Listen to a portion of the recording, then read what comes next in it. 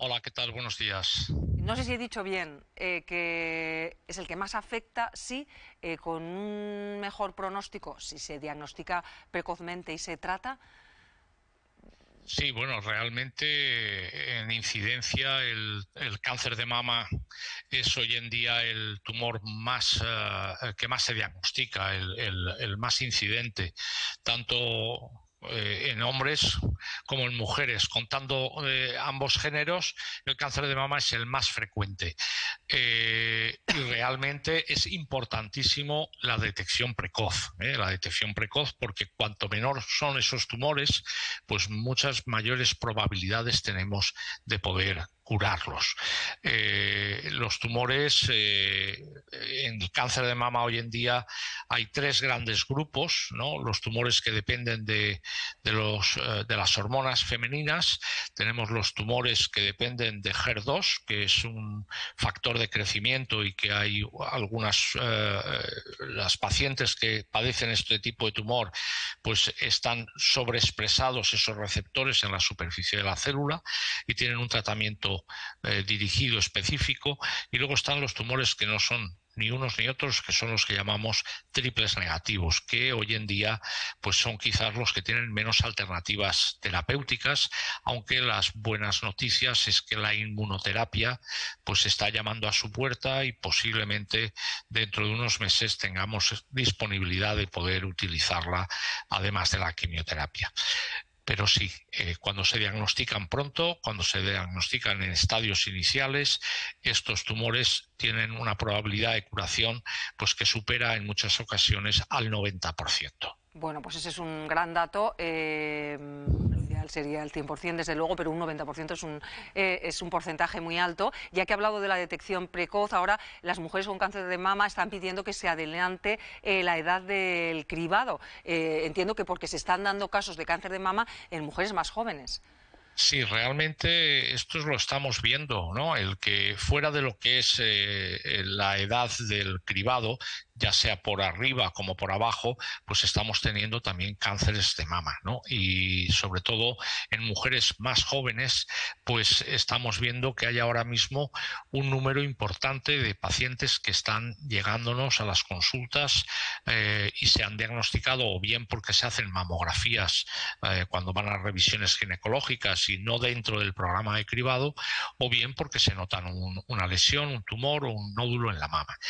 Eh, Mm, se están analizando. Ya hay algunas comunidades que ya en, España que ya han adelantado cinco años el cribado. Eh, los investigadores que estudian eh, pues todo este aspecto epidemiológico y el cribado nos plantean dudas porque el cribado tiene que cumplir con unos criterios para que sea realmente rentable. No rentable desde el punto de vista económico, sino de cuántas mamografías hay que hacer para diagnosticar un cáncer de mama en, una mujer de, esta edad. ¿no? Entonces, bueno, está demostrado que a partir de los 50 sí que hay una rentabilidad y eh, hay más dudas en las pacientes más jóvenes porque la mama es más compleja, porque tienen otras alteraciones que nos pueden eh, pues, eh, hacernos equivocar y eh, a lo mejor tener que realizar más biopsias de las que eh, se recomendarían. Entonces, bueno, es un tema que no es el sí o el no, sino que es un poco delicado, pero que probablemente yo espero que, finalmente pues se bajen esos cinco años más por lo menos. Pero Independientemente del cribado, yo creo que lo que hay que eh, transmitir a las mujeres es que si tienen facilidad, que accedan al ginecólogo, que se hagan las mamografías si lo consideran oportuno, sea, eh, aunque sea fuera del cribado. ¿eh? Sí, le quería preguntar si, desde luego, hay, hay múltiples factores que provocan ese cáncer de mama, entendemos, pero que se haya adelantado la edad, mm, ¿podría haber alguna causa determinada? Bueno, básicamente yo los, los eh, el, factor más importante eh, para tener un cáncer de mama es ser mujer. ¿eh? Eso es el, el, más importante porque hay 99 eh, cánceres de mama en la mujer por un cáncer de mama en el hombre. Entonces, ese es el factor principal. Pero luego es evidente que los hábitos de vida, la forma de vida que tenemos, pues tiene que, tienen algo que ver. La mujer eh, es más tarde madre, eh, la mujer eh, pues tiene unas alimentaciones y unos hábitos de vida diferentes, el uso de anticonceptivos, sobre todo el retraso de la maternidad y todo esto incluso la falta de lactancia materna, ahí pues son aspectos que pueden eh, de alguna forma eh, el, haber eh, acelerado o el provocar que aparezcan estos tumores antes de lo que anteriormente sucedía. Bueno, pues puesto que hay tantos casos, vamos ya con ese tratamiento. Ha hablado de la inmunoterapia, un tratamiento eh, mucho menos agresivo. Entendemos que la quimioterapia es, el camino ahora mismo para tratar eh, el cáncer de mama, combinando, entendemos, con otro tipo de terapias. Vamos a ver, la inmunoterapia no es, no es, no tiene, eh, eh, no es que digamos que no, tenga toxicidad. La, inmunoterapia tiene unos efectos secundarios que hay que conocer y eh, la quimioterapia tiene otros efectos secundarios. Hoy en día, en cáncer de mama triple negativo, en enfermedad metastásica ya tenemos indicación de tratamiento con inmunoterapia y la estamos utilizando en combinación con la quimioterapia.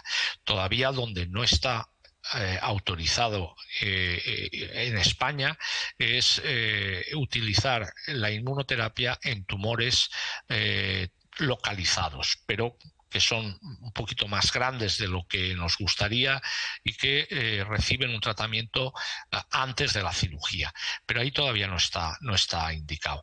Lo que sí que tenemos claro es que bueno, pues la combinación de quimioterapia y, y inmunoterapia eh, es superior, tiene unos resultados, mejores resultados que cuando utilizamos solamente la quimioterapia.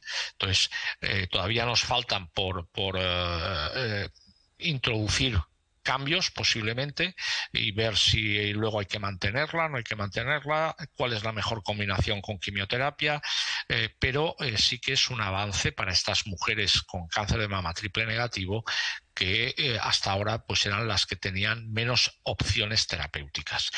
¿Qué es lo que hace la inmunoterapia? La inmunoterapia lo que hace es eh, despertar nuestras defensas. Es decir, que realmente lo que hace la inmunoterapia es evitar que el tumor eh, no sea identificado por las defensas del propio organismo. ¿eh? Entonces, cuando se activan esas defensas, pues eh, es, no solamente reconocen a las células tumorales y las atacan, sino que también pueden eh, atacar sus propias células normales, sus tejidos normales. Y por eso es lo que llamamos los efectos secundarios inmunorelacionados, porque en ocasiones el propio organismo pues ataca a sus intestinos o ataca al músculo y bueno, es lo que pasa cuando hay una enfermedad eh, inmunitaria, ¿no? Una colitis eh, ulcerosa o una enfermedad de Crohn una miositis. Entonces, todo esto puede suceder cuando activamos al sistema inmune eh, y evitamos, por un lado, pues que mejoramos el ataque con las células eh, tumorales, pero también nos puede provocar esos efectos secundarios. Hay que estar muy atento a esos efectos secundarios porque, en caso de que esto suceda, tenemos que volver a frenar al sistema inmunitario del paciente. Y entonces, bueno, pues ahí es donde hay que intentar llegar a esa situación intermedia. Pues Antonio Antón, jefe del Servicio de Oncología del Hospital Miguel Servet, le agradecemos que nos haya hecho un hueco en su agenda para atendernos en aquí y ahora, en este Día Internacional del Cáncer de Mama. Un saludo. Muchísimas gracias a ustedes por contar con nosotros.